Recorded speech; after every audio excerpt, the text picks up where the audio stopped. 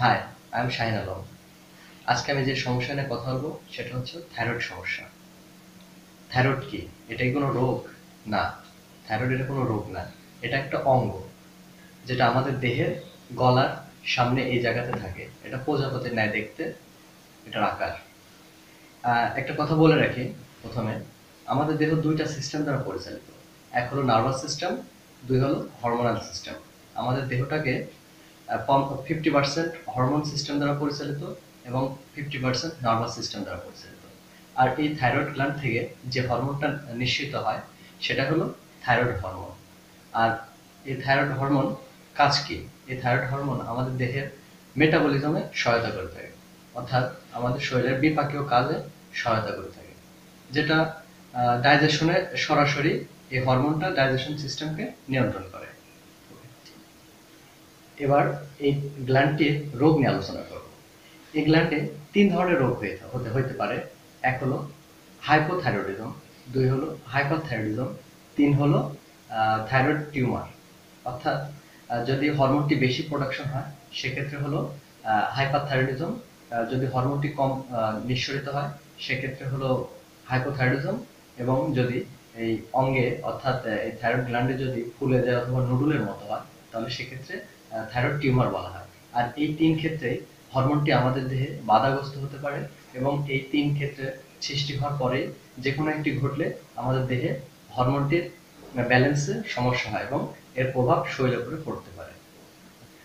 আমাদের দেশে এই রোগটি সম্বন্ধে অর্থাৎ থাইরয়েড গ্ল্যান্ড গ্ল্যান্ডের এই সমস্যাটি সম্বন্ধে আমাদের মাথায় যে জিনিসটা রাখা দরকার সেটা হলো টেন ইস টু ওয়ান অর্থাৎ যদি দশজন ফিমেলের হয়ে থাকে, একজন মেলের হয়ে থাকবে অর্থাৎ এবার এই রোগটি সম্বন্ধে আমাদের মাথায় রাখতে হবে একটা ব্যাপার।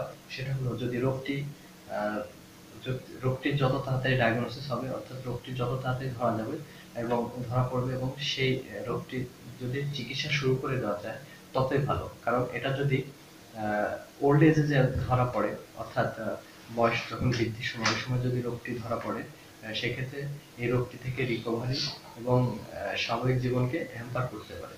সেদিকে আমাদের খেয়াল রাখতে হবে আর্লি ডায়াগনোসিস করার চিন্তা রাখতে হবে।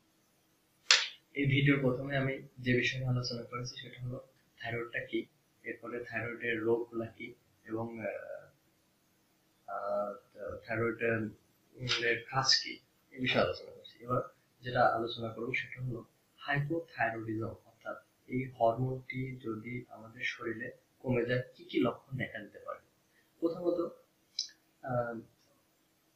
পেশেন্টের যে এই রোগে আক্রান্ত হবে, তার ওজন অনেক, অনেকটা বেড়ে যাবে। অর্থাৎ সে স্বাভাবিক খাওয়া দাওয়া করবে, কিন্তু তার ওজন দিব্যি বেড়ে যাবে। তারপর হলো কোল্ড ফিলিং অর্থাৎ রোগীর দেহে কোল্ড ফিলিংটা হবে। কেমন হবে? তার সবার যে স্বাভাবিক শীতটা তার দেহে শীতকালে স্বাভাবিকের চেয়ে একটু বেশি শীত লাগবে, শীত অনুভূতি হবে। তারপর হর্স ভয়েস হবে, অর্থাৎ তার গলাটা কর্কশ টাইপের হয়ে যাবে। তারপরে তার হচ্ছে হেয়ার লস হবে, অর্থাৎ মাথায় চুল পড়ে যাবে, তারপরে স্কিন ড্রাই হয়ে যাবে, অর্থাৎ তার ত্বকটা শুষ্ক টাইপের হয়ে যাবে। তারপর হলো যেহেতু এর ভুক্তভোগী নারীর পরিমাণ বেশি, অর্থাৎ ফিমেল পেশেন্টরাই ভুক্তভোগী বেশি ফিমেল পার্সন সেক্ষেত্রে ফিমেলদের মিনিস্ট্রেশন যে একটা ব্যাপার আছে, অর্থাৎ মাসিক, মাসিকের সময় মাসিকটা বাধাগ্রস্ত হবে, মাসিকটা রেগুলার হবে না এবং ইরেগুলারও পেতে পারে। এবং বিশেষ করে যখন মাসিকের ব্লিডিংটা হবে, মাসিকের মিনিস্ট্রেশন যে ব্লিডিং অর্থাৎ মেনোরেজিয়া এই ব্যাপারটা বেশি ঘনীভূত হবে। কনস্টিপেশনের সমস্যা, অর্থাৎ এই হরমোনটি কমে গেলে কনস্টিপেশনের সমস্যা দেখা দিতে পারে। অর্থাৎ বাথরুম কোষ্ঠকাঠিন্য দেখা দিতে পারে। তারপর হলো হচ্ছে আপনার মেমোরি লস অর্থাৎ চিন্তা শক্তি লোপ পাইতে পারে। তারপরে হলো যেটা হইতে পারে তার হচ্ছে ব্লাড প্রেশার রক্তচাপ পালস এগুলা কমে যেতে পারে। এই ভিডিওটি দ্বারা যারা দেখছেন, তাদের একটা বিষয় বলে রাখি। একটা মেসেজ দেওয়ার আছে। তা হলো, এই লক্ষণগুলো যদি দেখা দেয় আপনারা দেরি না করে খুব দ্রুত যে কোনো চিকিৎসকের শরণাপন্ন হন। চিকিৎসক এই লক্ষণগুলো দেখার পরে রোগীর দেহে যখন এই লক্ষণগুলো পাবে এবং দেখে শুনে যখন লক্ষণগুলো বুঝতে পারবে তখন তখন রোগীকে কিছু ইনভেস্টিগেশন অর্থাৎ কিছু পরীক্ষা নিরীক্ষা করা প্রয়োজন হতে পারে। এটা প্রত্যেকটা রোগের যেমন কনফার্ম হওয়ার পূর্বে কিছু কনফার্ম ডায়াগনোসিস করার ক্ষেত্রে এটি করা হয়ে থাকে।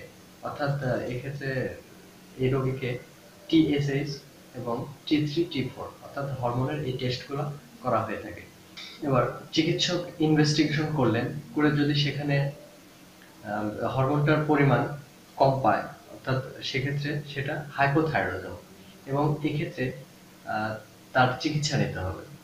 এই চিকিৎসাটা অনেক ক্ষেত্রে, যাদের হাইপোথাইরয়েডিজম সেক্ষেত্রে সত্তর থেকে আশি পার্সেন্ট রোগীর সারা জীবন অর্থাৎ ওষুধটি খেয়ে যে খাইতে হয়। এবং সেক্ষেত্রে যে ওষুধটির ডাক্তার, চিকিৎসকরা প্রয়োগ করে থাকেন, সেটা হলো থাইরক্স থাইরক্স এটা সারা দেশে মার্কেটে অ্যাভেলেবল এবং এর দামটা তেমন বেশি না। দেড় থেকে দুই টাকা ওষুধটির দাম। এটা সারা দেশে বিভিন্ন আপনার হচ্ছে মার্কেটে অর্থাৎ ওষুধের ডিসপেন্সারিতে এগুলো পেয়ে থাকেন। আর এই রোগটি যখন ধরা পড়বে তখন ভয়ের কিছুই নেই। এই রোগটি হলো রেগুলার চেক মতো, অর্থাৎ রেগুলার ফলো থাকতে হবে। অর্থাৎ এই রোগটি আপনি like diabetics like hypertension এই ধরনের আপনি রোগকে এর সঙ্গে তুলনা করতে পারেন। অর্থাৎ যেমন এই রোগগুলা রেগুলার চেক আপ করে দেখতে হয় যে আপনার যেমন যে আরবিএসটা কত আছে প্রেশারটা কত আছে, সেই অনুযায়ী যেমন এর ডোজ অর্থাৎ ওষুধ এবং ইনসুলিন কিংবা আপনি ড্রাগ যেটাই বলেন সেটা ঠিক করা হয়। ঠিক তেমনই এই হরমোনের সমস্যার ক্ষেত্রে থাইরক্স ওষুধটিও সেভাবে প্রয়োগ করে অর্থাৎ রেগুলার আপনার চার মাস, ছয় মাস এমন ধরনের ফলো আপে এসে আবার রিপিট টিএসএসটা দেখে তারপরে ডিসিশন নেওয়া হয় যে আপনার ওষুধটি কি বাড়ানো যাবে না কমানো যাবে। সেক্ষেত্রে একজন ফিজিশিয়ান অর্থাৎ একজন ডক্টর সেটা ডিসাইড করবেন এক্ষেত্রে আপনার নিয়মিত ফলো আপে আসতে হবে। এটা মিস করা যাবে না। আর একটা বিষয় বলা উচিত যে একটা রোগ হলেই, অর্থাৎ যে কোনো রোগেই রোগীরা যে বিষয়টা জানতে চায় সেটা হলো আচ্ছা কি খাব কি খাব না? এক্ষেত্রে তেমন বাধা নিষেধ তেমন ওইভাবে নেই। আপনি মূলত যেমন হচ্ছে যদি হরমোনটি বেড়ে যায় সেক্ষেত্রে আপনার যেমন হরমোনটা বাড়ার ক্ষেত্রে যেগুলা যেগুলা খেলে হরমোনটা আপনার বাড়তে আরও বাড়িয়ে দিতে পারে। অর্থাৎ যেমন বাঁধাকপি, ফুলকপি, শালগম, বেগুন, এই ধরনের খাবার কিছু রেস্ট্রিকশন করলেই আপনার এই হরমোনটা যদি শরীরে বেড়ে যায়, সেক্ষেত্রে এগুলা রেস্ট্রিকশন করলে আপনার মূলত হরমোনটা কন্ট্রোলে আসতে পারে। Thank you